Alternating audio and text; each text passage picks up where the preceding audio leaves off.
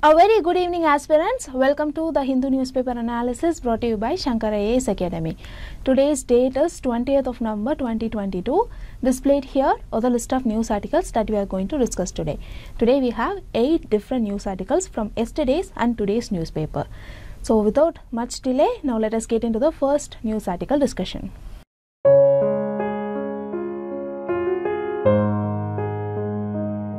Take a look at this article from yesterday's newspaper. It talks about the newly introduced Digital Personal Data Protection Bill.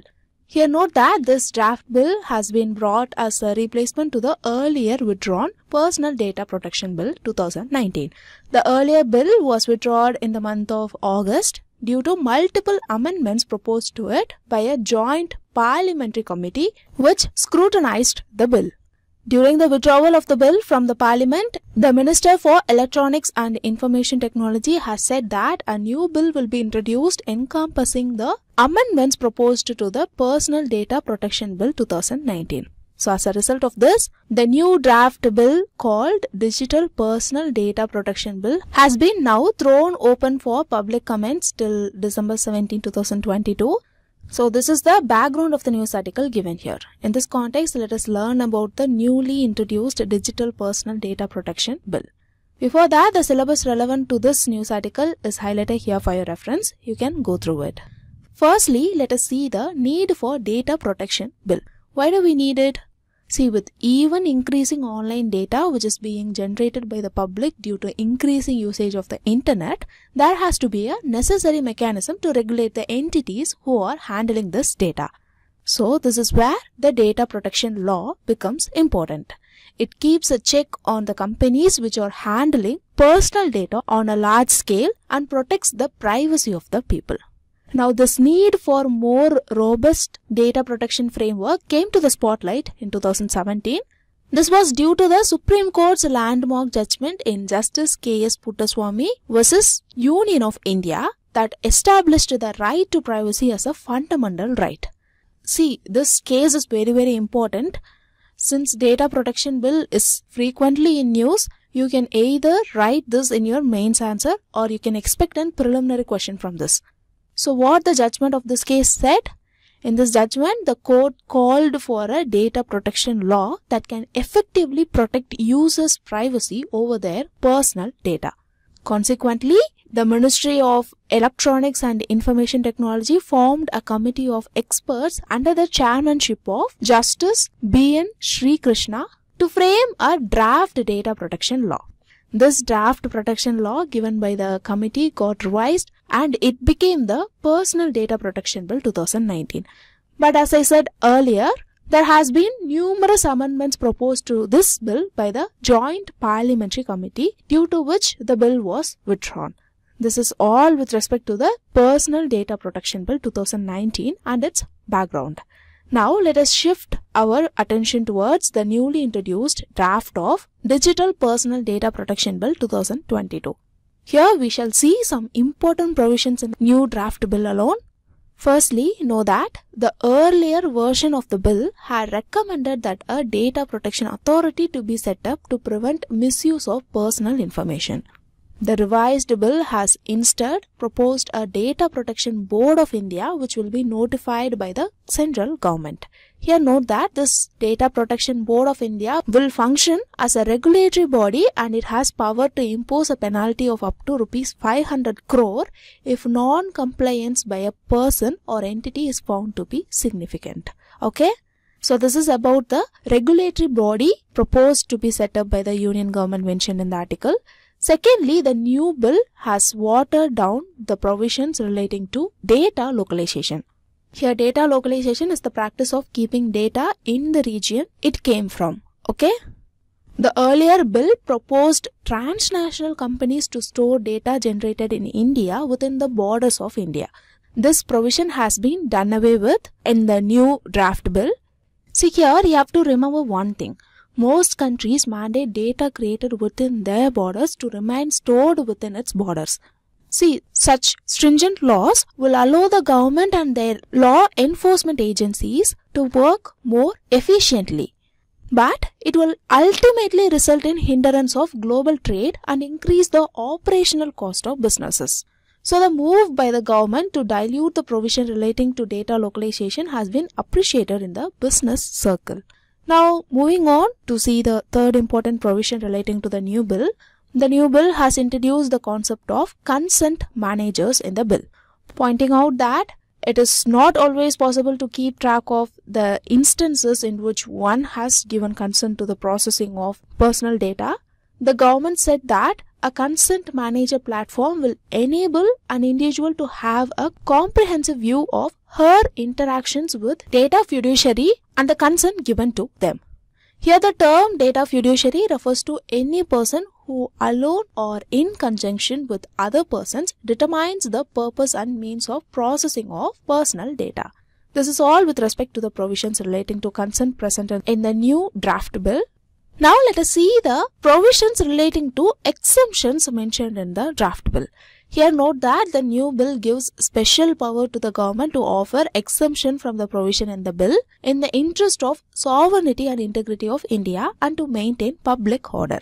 Finally, the new bill makes it obligatory for the data demanding entities to make sure that the request for consent to be presented in a clear and plain language.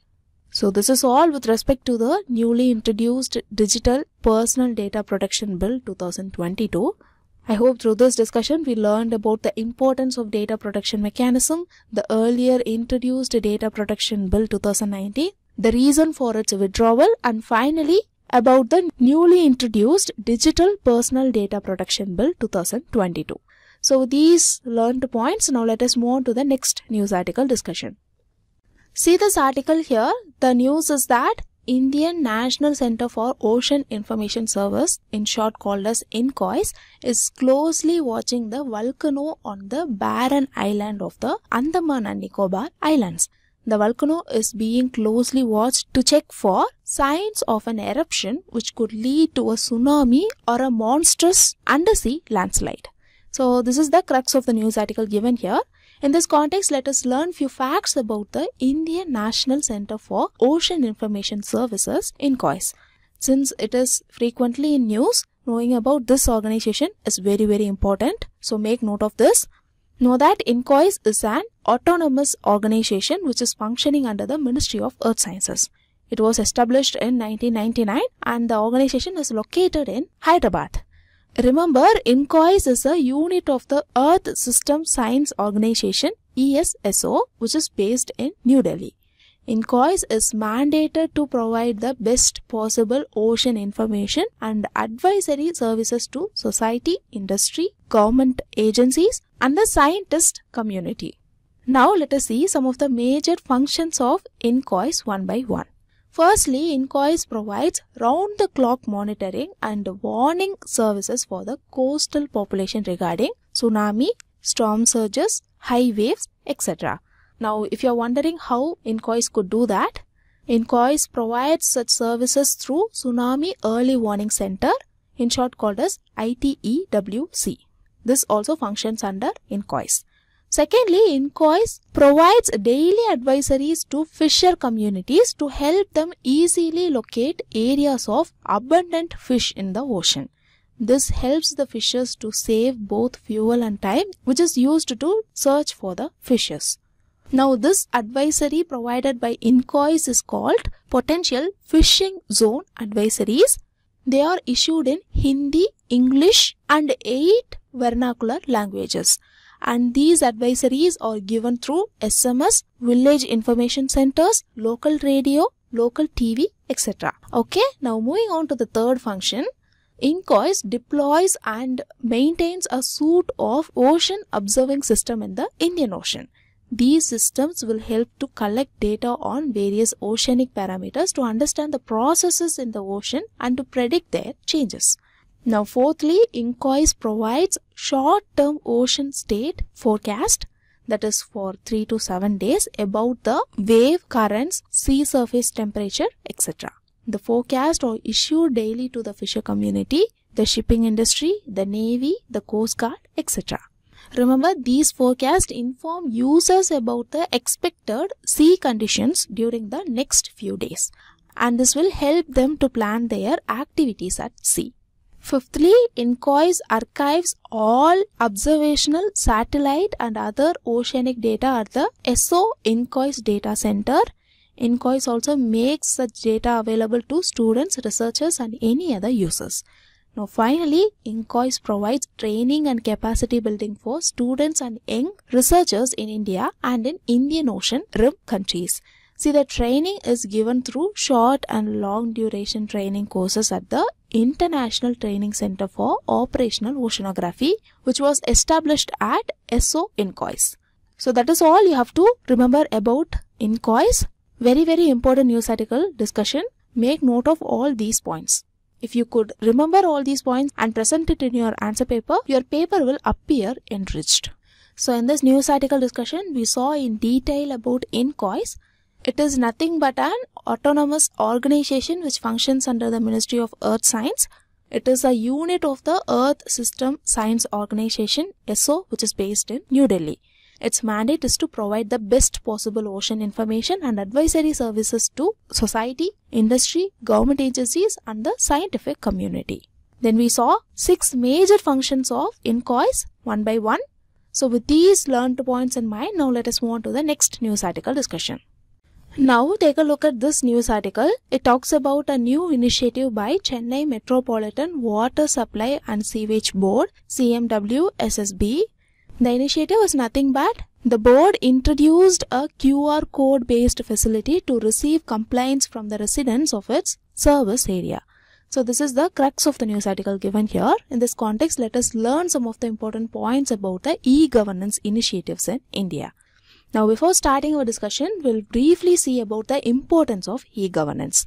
E-governance improves the transparency of the government institutions since it reduces the direct contact of government officials with the citizens, it reduces the chances of corruption. Secondly, it promotes the efficient delivery of government services to the citizens in a time-bound manner.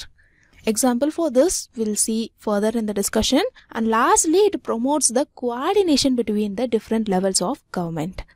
So these are all some of the advantages of e-governance. So knowing this, let us see some of the recent e-governance initiatives by the government.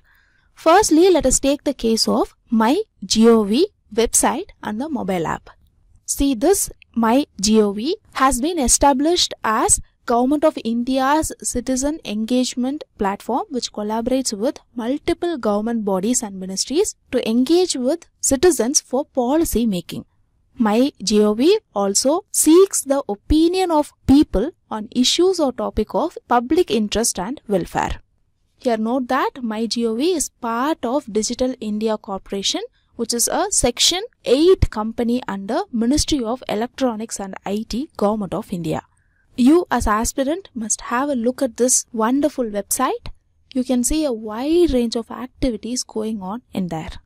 Now moving on to the next initiative, this is about a state specific e-governance initiative. Here I am talking about Bhoomi. Bhoomi is a project jointly funded by the Government of India and the Government of Karnataka to digitize the paper land records of Karnataka. The project was designed to eliminate the long-standing problem of inefficiency and corruption in the maintenance of land records. The project development and implementation are done by National Informatics Center. So this is about the second initiative, Bhoomi. Now moving on to the third initiative called FASTER, F-A-S-T-E-R. See the previous two initiatives we saw were from the executive's side. But this initiative is from the judiciary. Yes, this e-governance mechanism was introduced by the former Chief Justice of India, N.V. Ramana.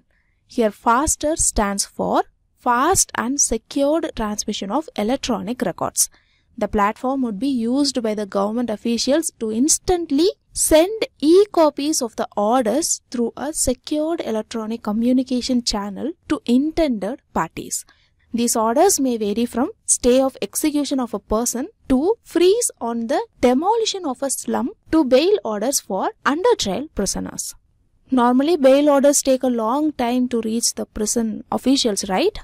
But through the usage of FASTER, the time taken for the transfer of bail orders has been brought down. So, this is about the initiative FASTER. Now, let's move on to see MCA 21. See, this is a flagship initiative by the Corporate Affairs Ministry. The project aims to provide electronic services to the companies registered under the Companies Act.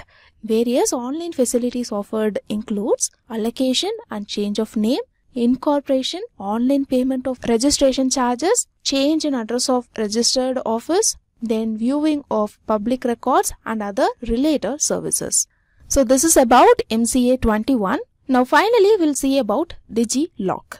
See, DigiLocker is an initiative of Ministry of Electronic and IT that is MeitY under Digital India program. DigiLocker aims at digital empowerment of citizen by providing access to authentic digital documents to citizens digital document wallet. The issued document in DigiLocker system are deemed to be at par with original physical document as per Rule 9A of the Information Technology Rule 2016. You can digitally store most of the government certificates in this app. For example, rather than carrying your driving license physically to where you are going, you can store it in your DigiLocker account digitally. And this can be accessed through the DigiLocker mobile app. So this is about the DigiLocker. So that's all about this news article discussion. So through this discussion, we saw five different e-governance initiative of the government. All these initiatives were brought up with an aim to improve the transparency of the government institutions. So with these learned points in mind, now let us move on to the next news article discussion. Now take a look at this news article. This news article is about the No Money for Terror NMFT Ministerial Conference. See, this is the third NMFT Ministerial Conference. This year, the conference was held on 18th and 19th of November and this year the conference was organized by our Ministry of Home Affairs. So, as the current chair of the NMFT, our Home Minister mentioned two things that have to be done to counter terrorism. The first thing is universal common definition of terrorism and terror financing. Second thing is a secretariat must be established to ensure that NMFT becomes a permanent body. See, currently NMFT is just a temporary ministerial conference. Our Home Minister said that in order to ensure the continued global focus on countering the financing of terrorism, establishing a secretariat for NMFT is a necessity. So this is about the news article and our Home Minister's speech at the conference. As a part of this discussion, let us continue to see some important points about NMFT. See, we already know NMFT is a ministerial conference and recently the third conference was concluded in India. Actually, the third conference was held in New Delhi. Remember, the first such conference was held in Paris 2018 and the second conference was held in 2019 in Melbourne, Australia. Now, coming to the objectives of this conference, see as the name indicates, the NMFT aims at counter international terror financing by ensuring cooperation among the countries. So this is about the NMFT. Now let us see the various issues raised by India in the 2022 NMFT conference. Firstly, India indirectly attacked Pakistan by mentioning about the terrorist safe havens. In this, India mentioned that the world nations should not ignore the countries that support and finance terror activities. Here, India also mentioned that some countries support terrorist activity as part of their foreign policy. So, India suggested that there must be a monetary penalty imposed upon countries that support terrorism. Then, India mentioned about the regime change in Afghanistan India said that due to the recent regime change in Afghanistan, the region's security is affected. After that, India mentioned about the issue of emerging technology. See, according to India, the emergence of darknet and cryptocurrency has made the prevention of terror financing complicated. In addition to this, there is also the issue of online radicalization of youth through the internet. So, India mentioned about all these and finally, while talking about the organized crime, India mentioned that organized crime and terror must not be seen isolation. India reiterated money made by the elements of the organized crime through gun running, drug peddling, and smuggling is pumped into terrorism. So, to counter terrorism, countering organized crimes is also a necessity. So, these are all some of the important points that are mentioned by India in the NMFT conference. These are all the points that you have to make note of as well.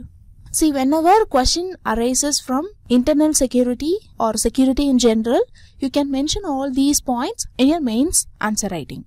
These points will enhance your answers. So in this news article discussion, we saw in detail about NMFT conference and we saw how India used this conference to counter terrorism. So these learned points. Now let us move on to the next news article discussion. Now take a look at this news article. See the article states that the Uday has simplified the procedure for the prisoners to avail Aadhaar card.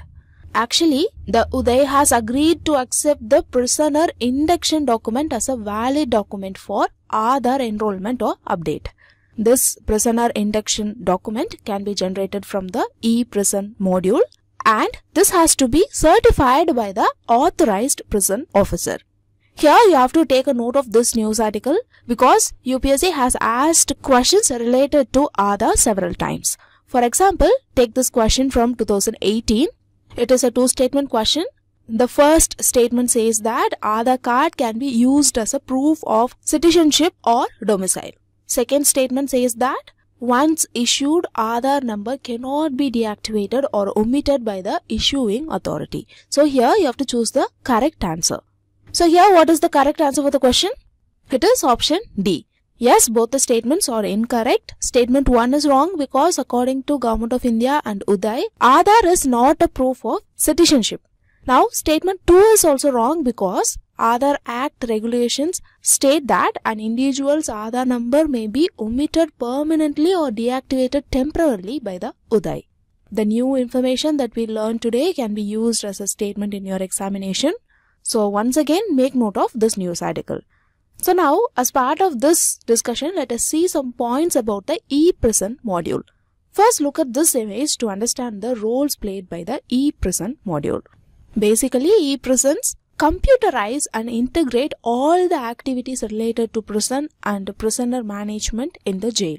Since all the data are digitized and stored in the cloud officials of the criminal justice system, mainly the prisoner officials can access the information regarding the inmates lodged in the prison in real time.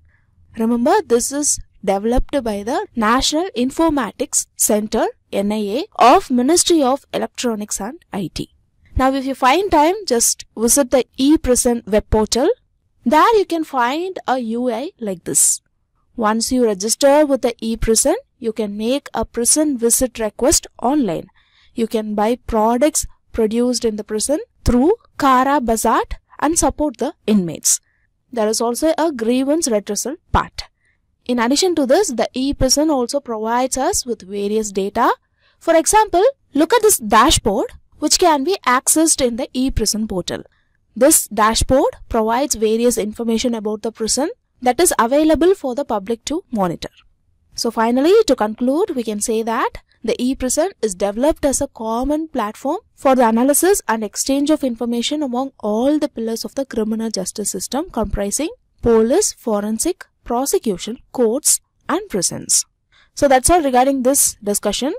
In this news article discussion, we saw in detail about e-prison module. We saw that it is a web portal that integrate all the activities related to prison and prisoner management in the jail and then we saw that this portal was developed by the National Informatics Center NIA of Ministry of Electronics and IT. Then we saw some of the applications of this e-prison. You can buy the products produced in the prison through Kara Bazaar and support the inmates. There is a grievance redressal part. And once you register with the e-prison, you can even make a prison visit request online. So these learned points. Now let us move on to the next news article discussion. Now look at this news article. This news article is about PM Kisan scheme.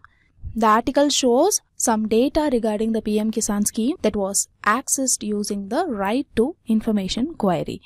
Now, before understanding the data given in the article, let us first make ourselves familiar with the PM Kisan scheme. It is nothing but the Pradhan Mantri Kisan Samman Nidhi, which is shortly known as PM Kisan scheme. Here, Pradhan Mantri, as we know, means Prime Minister, Kisan means farmer, Samman means respectful or dignified, and Nidhi means fund.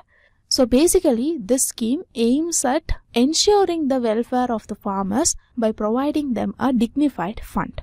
So when was it launched?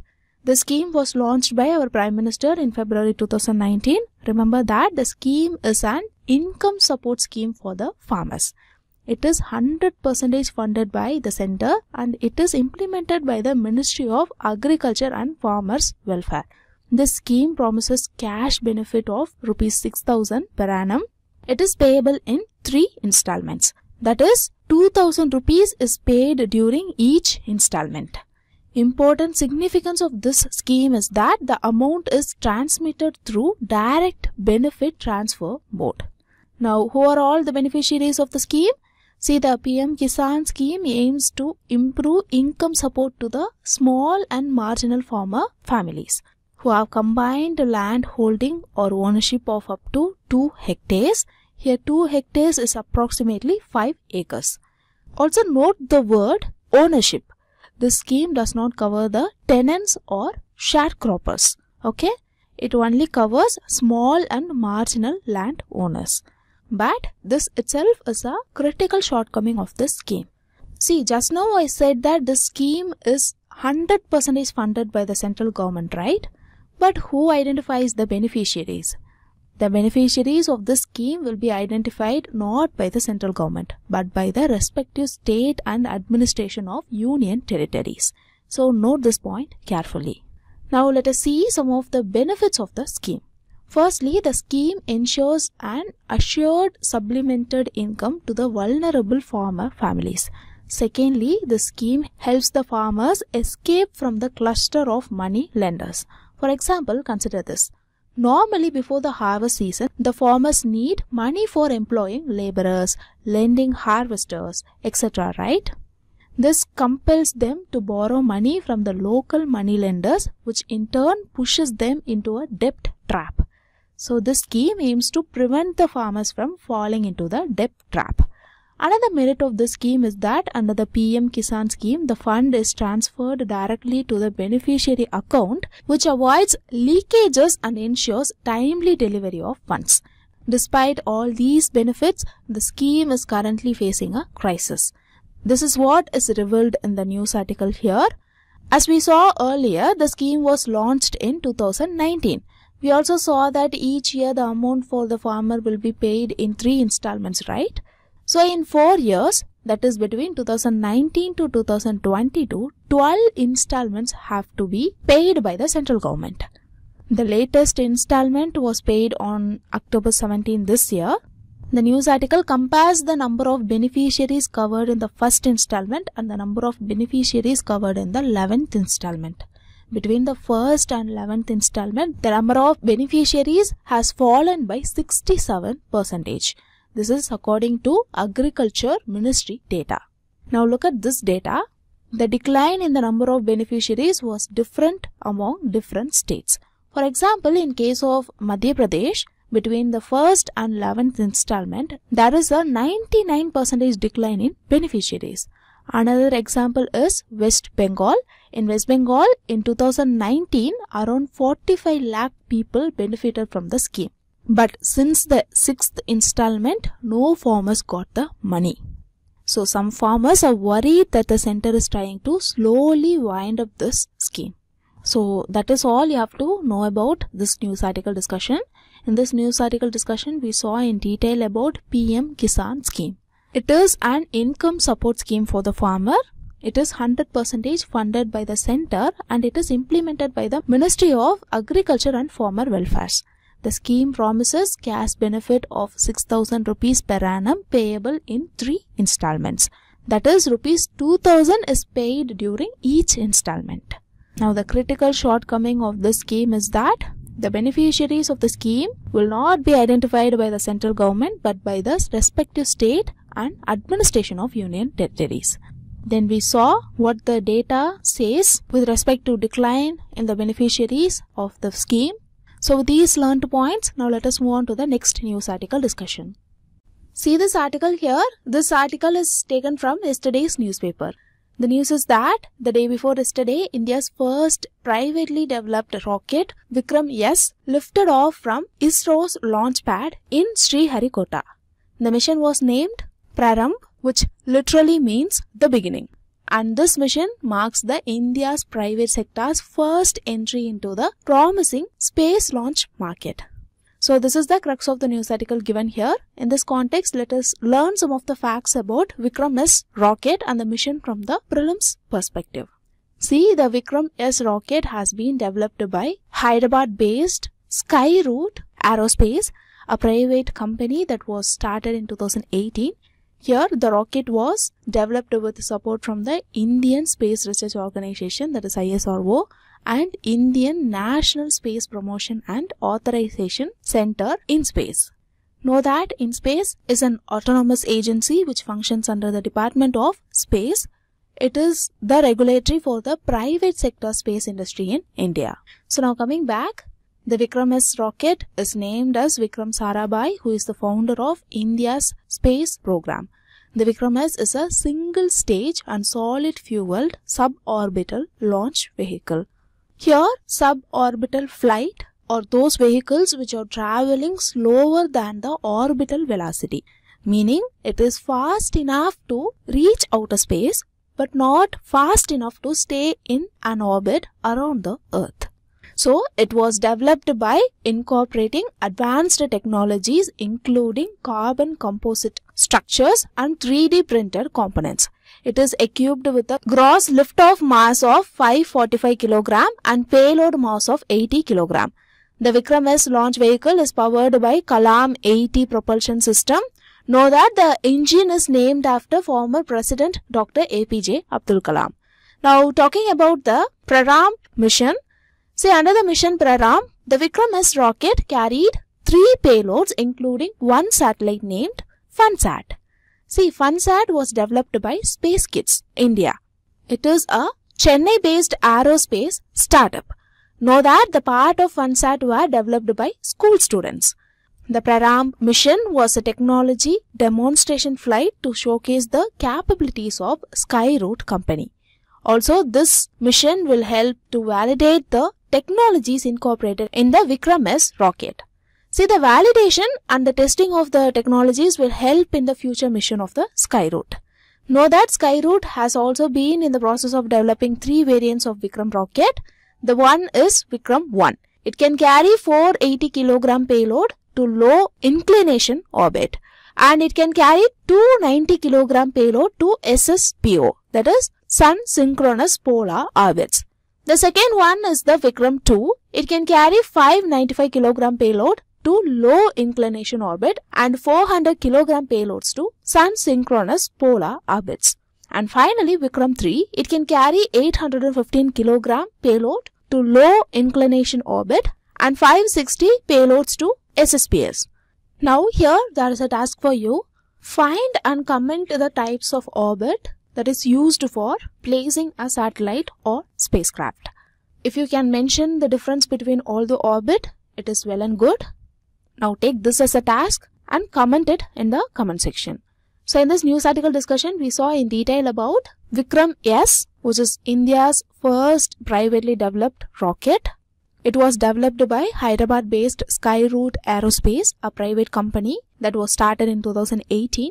And this Vikram S is a single-staged and solid-fueled suborbital launch vehicle. So with these learned points, now let us move on to the next news article discussion. Now for our final discussion, let us take up this news article. See, recently the Tribal Development Council of Andaman and Nicobar Island had sent an application to the Geographical Indications Registry at Chennai and the application is seeking the geographical indication that is GI tag for the Nicobari Hodi boat. So this is the crux of the news article given here. In this context, let us learn few facts about Hodi boat from the prelims perspective. See, the Hodi is considered as one of the Nicobari tribe's traditional crafts. It is a type of canoe. A canoe is a small narrow boat that moves through the water. It moves with the help of sticks with a wide end called a pedal. Hodi is very commonly operated in the Nicobar group of islands. Mostly Hodis are considered as an asset of Tuhet. Here the term Tuhet refers to a group of families controlled by a leader called headman. See, Hodis are used for transporting people and goods from one island to another and people also use Hodis for fishing and racing purposes. Know that Hodi race are held between island and villages and it is celebrated in a grand manner every year. The Hodi race helps in preserving the traditional culture of Nicobaris and paves way for cultural interaction. And the race also helps in promoting brotherhood among the Nicobari tribe. Now talking about its size, the size of Hodi varies according to the purpose of which it is built. Firstly, small to medium size Hodis, its overall length ranging from 3 to 9 meter and they are used for fishing. Then the bigger size Hodis, its overall length exceeding from 10 meter and they are used exclusively for racing purposes. So this is about the Hodi boat now let us look into the process involved in making the Hodi boat. See, the technical skills involved in building a Hodi boat are based on indigenous knowledge. The knowledge is inherited by the Nicobari tribes from their forefathers. The Hodi is built using either locally available tree or from nearby island and its design varies slightly from island to island. A well experienced tribal carpenter along with his team used to visit dense forest of the island to identify the tree suitable for the construction of Hodi. Note that the tree has to be free of big branches along the required length.